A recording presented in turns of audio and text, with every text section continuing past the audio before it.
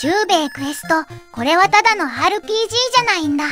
和風の世界に SF が融合して独自の雰囲気を作り出してる。まるで時代とジャンルの境界を越えた冒険が待っているようだよ。別世界のストーリーってどんな感じなの？本編とは異なるストーリーで探索の幅がぐっと広がるんだ。それでいてゲームの進行に迷いがないようしっかり案内してくれる。ヒントがしっかりしてるってストレスフリーでいいね。戦闘システムもシンプルだけど奥が深いんだ。味方をうまく配置して戦略的に戦う楽しさがある。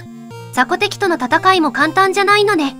そう、考えることが多いけど、だからこそ達成感があるんだ。和風の世界観に SF が加わると、こんなにも新鮮なんだね。和風と SF の組み合わせ、興味深いわ。さらに、このゲームは、怪獣物語の和風バージョンみたいなものだよ。ドラクエのようなゲームを元にしつつ、全く新しい体験を提供してる。長く遊べるのも魅力的だね。まさに、長時間没頭できる大ボリュームが用意されているんだ。操作性も直感的で、初心者から上級者まで楽しめるようになってる。そういう配慮があるのはありがたいわ。まずは基本の戦闘から慣れていこう。戦略を練るのが鍵だよ。ターン制バトルで、どのように味方を配置するかが大事になってくる。敵の攻撃をどう受け流すか考えるのが楽しそう。それに、ストーリーにも深みがあって、プレイヤーを引き込むんだ。謎解きや探索も、このゲームの魅力の一つだよ。探索と謎解きもあるのね。内容が盛りだくさんでワクワクするわ。そして、和風の世界に登場するキャラクターたちも魅力的だよ。彼らの背景や物語がゲームに豊かな色を加えているんだ。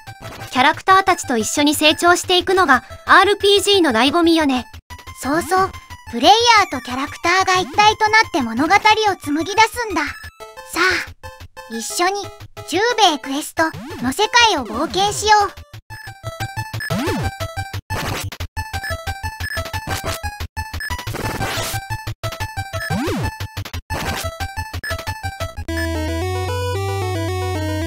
イドライド3闇からの訪問者の話をしよう。これはね、ハイドライドシリーズの最終章にあたる作品なんだ。前作までの難易度を家庭用ゲームに合わせて調整してあるんだよ。どんな特徴があるのかな？このゲーム、時間と重さの概念を取り入れているんだ。時間は24時間制で、日中から夜にかけて変化するよ。食事を忘れると HP が減っていくから、常に気を配る必要があるんだ。夜になると、モンスターが強くなるって本当？本当だよ。日中じゃかかったモンスターが夜になると急に強くなるんだ。そしてね、持ち物には全部重さがあって、それも戦略の一部になるの。重さで動けなくなることもあるって面白いね。敵を倒して得たお金でさえ重くて、それで動きが遅くなることもあるんだ。だから、どんなアイテムを持つか、本当に計画的に考えないといけない。遊びにくさを感じる人もいるのかな？確かに最初は遊びにくいと感じるかもしれないけど慣れたらやみつきになるよ。BGM も本当に素晴らしくてゲームの世界に深く引き込まれるんだ。未プレイの人はこの隠れた名作をぜひ体験してほしいな。時間と重さを管理するなんて他にはない挑戦ね。うん。プレイヤーの決断一つ一つが成功や失敗に直結するんだ。そしてねこのゲームの世界観やストーリーも魅力的なんだよ。ストーリーも深いのね。詳しく聞きたいな。闇からの訪問者。だから物語にはちょっとしたミステリーもあるんだ。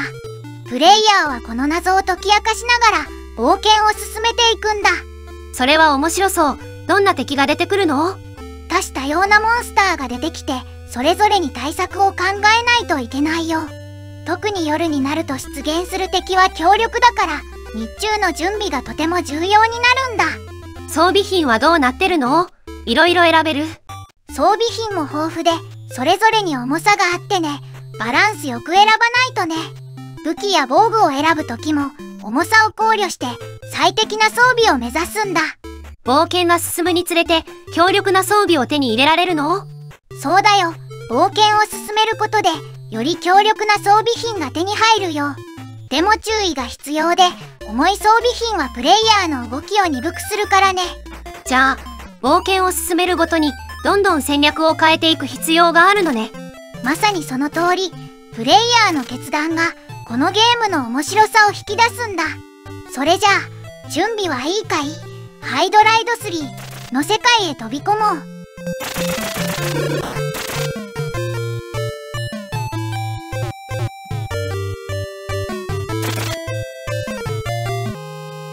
獣物語の世界について深掘りするよ。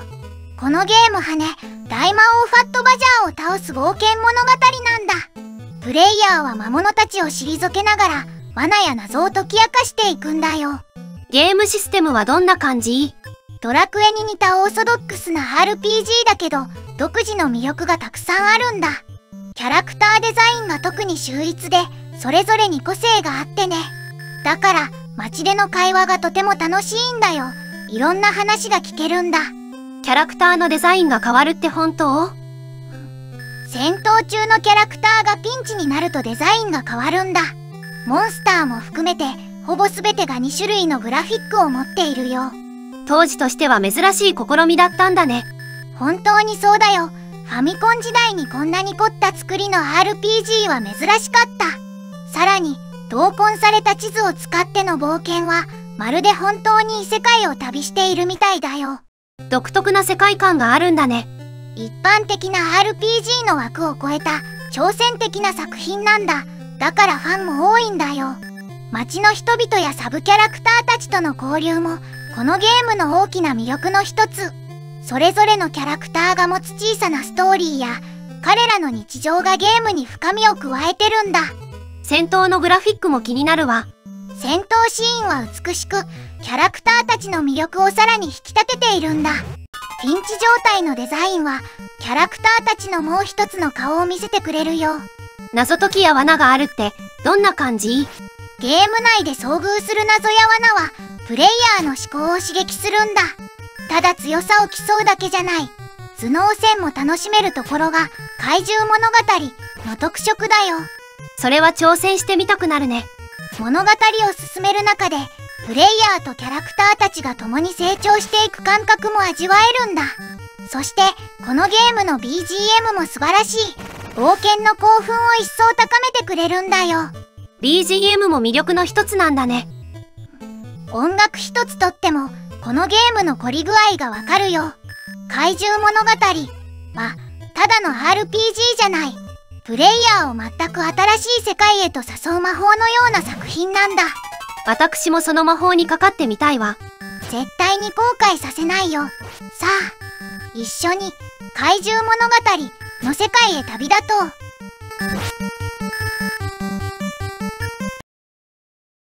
ラサール石井のチャイルズクエスト始めるよ。このゲーム実在したアイドルグループチャイルズを題材にしてるんだアイドル育成と RPG が融合したその当時では珍しいタイプさ。プレイヤーの目標はチャイルズを日本一のアイドルにすること。時を公会堂での大コンサート成功がその証なの？正解。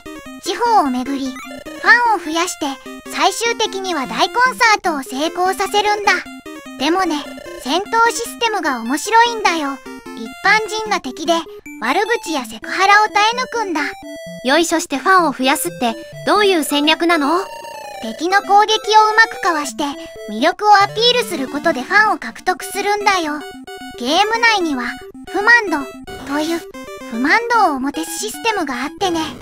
これが100%になるとチャイルズはスタート地点に戻されちゃう。トイレ管理も必要ってかなりリアルなのねそうそう細かい管理もこのゲームの魅力の一つだよ。子供の頃はこのゲームにハマって夜遅くまでやってたな。でもセクハラとかの意味分かってた？全然。ただなんとなく楽しくて夢中になってたよ。今思うとちょっとバカバカしいけどそれがいいんだよね。チャイルズのメンバー一人一人を育てていく楽しみがあるんだ。大人になってからやったらまた違う感じがするかももっと深くゲームの世界を楽しめると思うよこのゲームアイドルとファンの関係や人気の獲得方法を考えさせられるんだへえ、ゲームを通じて学べることもあるんだ。そしてラサール石井さんが名前を連ねてるのも面白いよね実在のアイドルグループがモデルってのも珍しいね。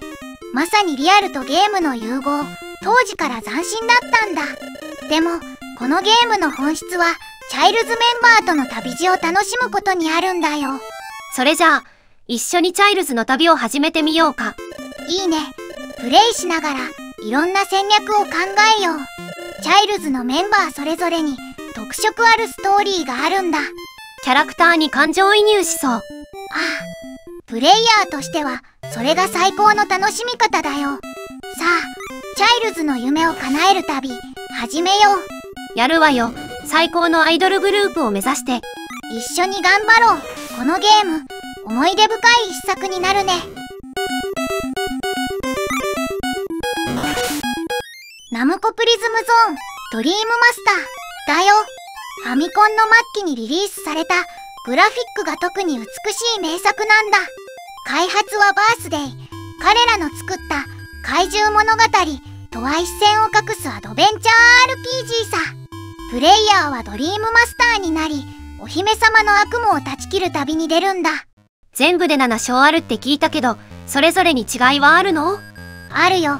章ごとにシナリオが変わり敵やステータスもそれに合わせて設定されてるんだ。特に戦闘ではサーチ機能で敵の弱点を見つけるのが鍵になる。サーチって使うと敵を怒らせるリスクもあるの？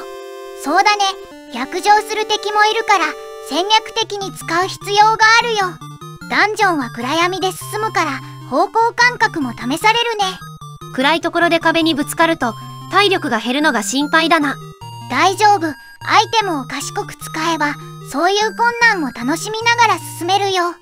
このゲームオーソドックスな RPG に飽きた人には新鮮な体験を提供するんだ。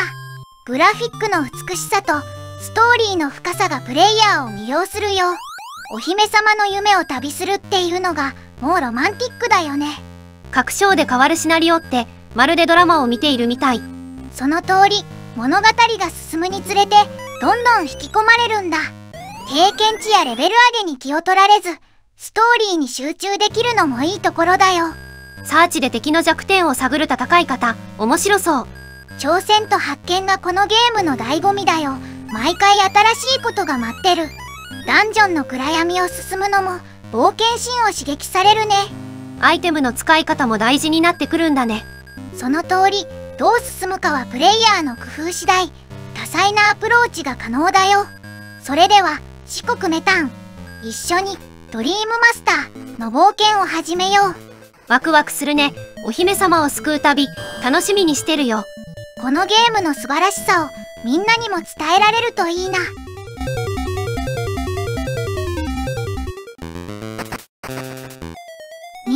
忍者ラホイについて話そうか。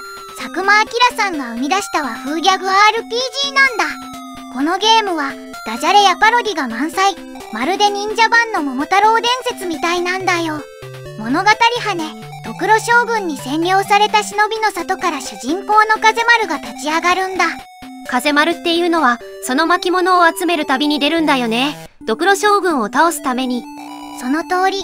ゲームのシステムはドラクエにやファイナルファンタジーにを思わせる感じで忍術を使うほどにキャラが成長していくんだ。ただしゲームバランスはちょっと厳しめでエンカウント率が高くて敵も強いから気をつけてね。雑魚敵でも強いなんて、かなりの挑戦が必要そうだね。でもさレベル上げをコツコツとやればストーリーをスムーズに進められるから大丈夫だよ。パッケージには超 B 級 RPG とあるけど佐久間明さんのユニークな世界観を楽しめるからファンにはたまらない名作なんだ。桃太郎伝説ファンにもおすすめってわけか。どんなパロディがあるの？いろんなゲームや文化のパロディが散りばめられていてプレイしながらあこれはってなる瞬間がたくさんあるんだ。風丸が旅する中で出会う仲間たちもそれぞれにユニークなキャラクターで彼らとの絡みも楽しいんだよ忍術ってどんなのがあるの？攻撃系？補助系？いろいろあってね。攻撃系の忍術から敵の動きを封じる補助系の忍術まで。戦略的に使い分けることが大切になってくるんだ。そしてゲームを進める上で遭遇する敵もただ強いだけじゃなくて倒し方を工夫しないといけない奴らがいるからね。エンカウント率が高いって聞くとかなり戦闘が多そうだね戦闘が多いけどその分風丸と仲間たちの成長も早いから達成感もひとしおだよ。忍者ラホイの世界は和風の背景にユーモアが満載で本当に魅力的なんだ。佐久間明さん独特のギャグセンスが光る会話やイベントにも注目してね。忍者の世界を舞台にしたこの冒険本当に色々な発見があってプレイする価値があるよ。ユーモアと挑戦が満載の RPG 今すぐプレイしてみたいよ。ぜひぜひ忍者ラホイの世界を楽しんでみて風丸と一緒にドクロ将軍を倒す旅を満喫してね。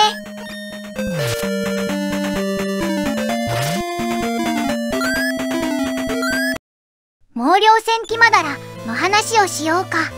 このゲームはねマルカツファミコンで人気だったファンタジー漫画が原作なんだ。オーソドックスな RPG だけどその魅力はただのオーソドックスじゃないんだよ。ファミコン後期に出た作品でグラフィックも BGM もすごく高水準なんだ。BGM が特別なんだって聞いたけどどうして？実はねコナミ製の拡張チップが使われていてファミコン離れしたクオリティを実現してるんだ。作曲はクケイハクラブが担当しててそのサントラ Y までも人気が高いよゲームの進め方は自由で原作のストーリーに沿って冒険するんだ。戦闘システムはどんな感じ？戦闘は半自動でファミコン版のウルティマを彷彿とさせる感じなんだ。しっかりレベルを上げて装備を整えればクリアは十分に可能だよ。マダラファンならこのゲームをプレイするべき。まさに名作 RPG ってわけ。でもねこのゲームの魅力はただの RPG にとどまらないんだどういうこと？ファミコンの性能を最大限に引き出したグラフィックと音楽そして原作の深い物語。これらが融合してまるでファミコンで漫画を読んでいるような感覚になるんだ。原作とゲームどっちも楽しめるってこと？その通り。ゲームを通じて原作の世界観をより深く味わえるしゲームだけの新しい魅力もあるんだ。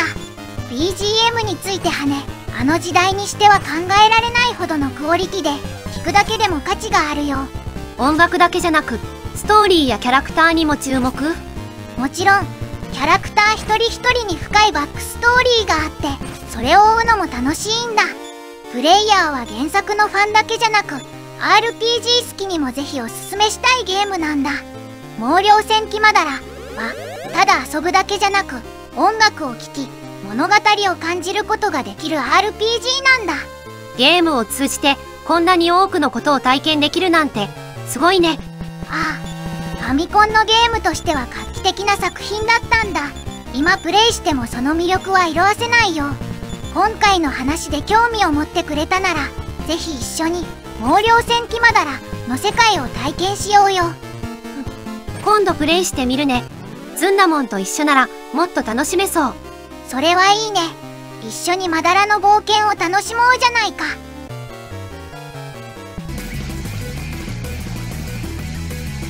ファミコファミコ信じろすでに壁は越えている。ファミコファミコ俺たちしかできないプレイをしない。